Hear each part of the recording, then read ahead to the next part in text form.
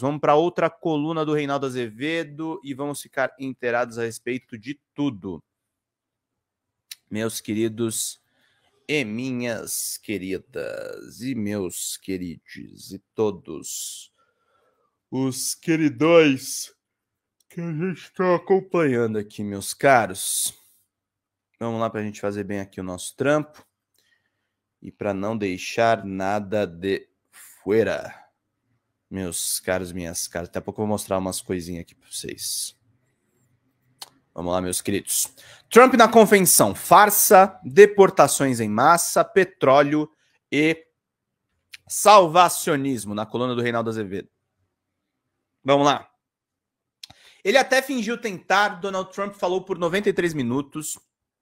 No discurso, em que aceitou a indicação do Partido Republicano para a presidência dos Estados Unidos, a mais longa manifestação em discursos dessa natureza. Em muitos momentos, a fala se transformou em uma arenga de autocongratulação e autossatisfação.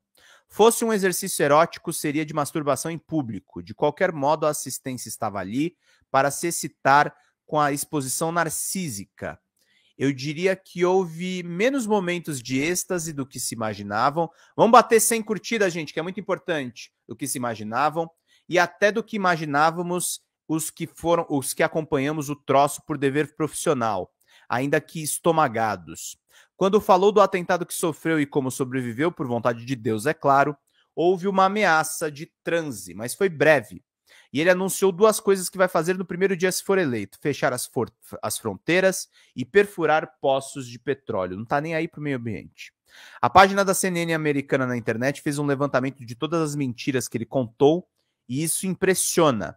O tiozão do, do churrasco de hambúrguer, picanha para aquele povo forte abaixo do Equador, segue sendo generalista sobre o nada de sempre, mas se tornou o dono inconteste do Partido Republicano não tem compromisso com os fatos, fala o que lhe dá na telha, conta lorotas com a determinação fanática e vai saber, talvez acredite nas bobagens que ele mesmo diz.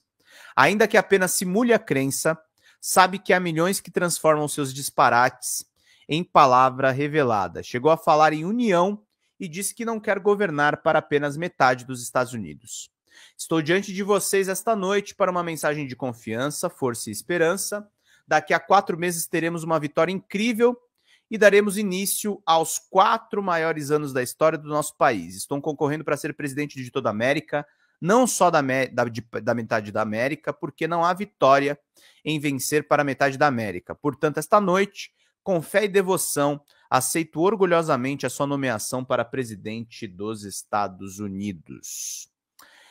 É, era para valer? Obviamente não. Mais uma vez, no curso do seu longuíssimo discurso, deixou claro que só um resultado é aceitável, a sua vitória. Uh, nesse sentido, repete a fala autoritária da campanha de 2020 e se mostra disposto a não aceitar, mais uma vez, o resultado caso lhe seja adverso. Ninguém acredita que isso possa acontecer se Joe Biden seguir na disputa, mas parece haver sinais de que ele pode desistir e aí se dará diante de uma nova situação. O republicano ainda afirmou: o Partido Democrata deveria parar de imediatamente de usar o seu sistema de justiça como arma e de rotular os seus adversários políticos como inimigos da democracia, especialmente porque isso não é verdade. Na realidade, sou eu quem está salvando a democracia para o povo do nosso país.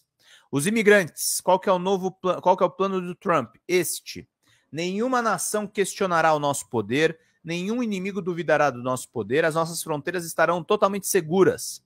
A nossa economia vai disparar, devolveremos a lei e a ordem às nossas ruas, o patriotismo às nossas escolas e, o mais importante, restauraremos a paz, a estabilidade e a harmonia em todo o mundo. Para alcançar esse intento, é preciso eleger um inimigo, além dos democratas. Dedicou um bom tempo a demonizar os imigrantes que seriam responsáveis, segundo ele, por dezenas de milhares de assassinatos. É um assombro. Afirmou que a criminalidade cresce nos Estados Unidos enquanto o clima no resto do mundo, enquanto declina no resto do mundo. As várias agências de checagem atestam é apenas uma das suas mentiras. Dados preliminares do FBI informam, o site da, F, da, da CNN apontam para uma queda de 13% dos assassinatos em 2023 e 6% nos crimes violentos em comparação com 2022. Os números estão abaixo dos registrados em 2020, o último ano da gestão Trump. Os índices relativos do primeiro trimestre de 2024 indicam é, ainda são mais eloquentes quando comparados ao igual período do ano anterior. O declínio de 26% nos homicídios e de 15% nos crimes violentos, e Trump, o moderado, prometeu, sem receio, a maior deportação em massa da história do país. Isso aqui é desumano, né? Esse cara é um animal. É uma coisa muito louca isso aqui. Vamos lá, gente. 90 pilas de superchats ou pix. Ajudem, por favor. A gente precisa muito da ajuda de vocês. Deportações ainda maiores do que as dos do presidente Dwight Eisenhower de muitos anos atrás. Você sabe, ele era um moderado, mas acreditava fortemente nas fronteiras. Ele fez a maior operação de deportação que já tivemos. Trump já havia feito essa afirmação no ano passado para lembrar a Operação Wetback, levada adiante por Dwight Eisenhower em, 2000, em 1954, deportou 1,4 milhão de indivíduos, especialmente mexicanos, mas também levou terror às famílias já americanas com raízes do México e em outros países da América Latina. Diz o candidato que pretende fazer a coisa ainda maior, além de erguer o muro. De novo, a suposta fraude. O candidato que mentiu sobre praticamente todos os temas que tocou, voltou a acusar, acusar fraude nas eleições de 2020, sustentando que eles, os democratas, usaram a Covid para trapacear, à medida que houve uma facilitação de voto pelos Correios, sem nenhuma evidência de irregularidade. Não obstante, Trump e os trumpistas entraram com 50 ações na justiça para anular as votações.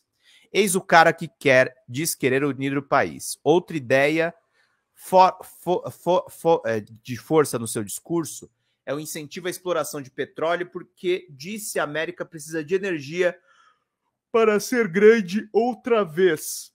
Ele também prometeu fazer as duas coisas logo no primeiro dia de mandato: perfurar poços de petróleo e fechar as nossas fronteiras. A paz de Trump. Vamos entender aqui direitinho. A paz de Trump. Uh, e claro, com ele o mundo ficará em paz.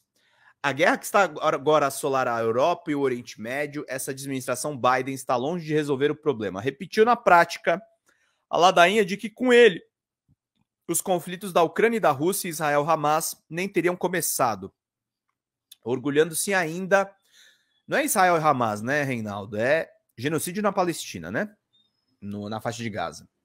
Orgulhando-se ainda da interlocução que manteve quando presidente com Kim Jong-un e com o Talibã sobre o ditador norte-coreano, mandou ver: Eu me dou bem com ele, ele também gostaria de me ver de volta, acho que ele sente a minha falta, se você quiser saber. Elogiou ainda a firmeza de Viktor Orbán, primeiro-ministro autocrata da Hungria e um dos principais aliados de Vladimir Putin no mundo. Não erra quem apostar que Trump, se vencer, vai negociar a paz com a Ucrânia na linha. Chega dessa conversa, entreguem os territórios ocupados à Rússia, porque eu preciso de dinheiro que sustenta a guerra para fazer a América grande outra vez.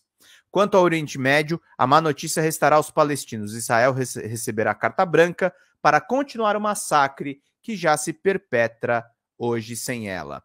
No mais, ele diz que vai proteger a economia e os empregos americanos, e isso significa que deve intensificar a política protecionista em curso. O alvo principal é a China e o resto do mundo, na sua América Grande, parece não haver a, é, é, é, lugar para que a América não for. Se há alguma esperança, está na suposta disposição de Biden de desistir.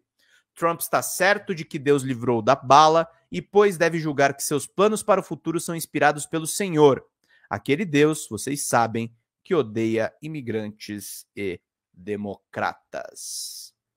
Baita coluna do Reinaldo, né? Ele decupou o discurso do Donald Trump.